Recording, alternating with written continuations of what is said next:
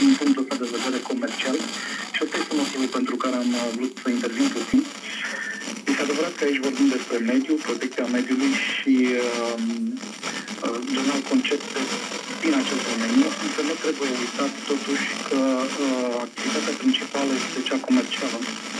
Și atunci, uh, ce încerc să spun cu asta este că, până la urmă, noi așteptăm, să mai bine zis, va trebui să vedem și care va fi reacția consumatorului, ca și consumator comercial.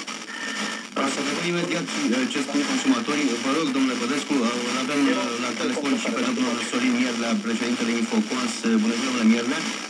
Bună ziua, dumneavoastră și tuturor ascultătorilor dumneavoastră.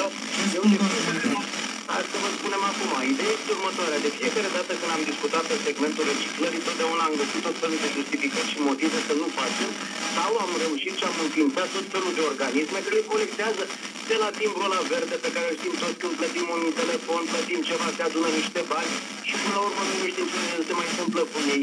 Acum vom găsi iară un mecanism, am mai luat niște bani de la consumator, de la cetățean,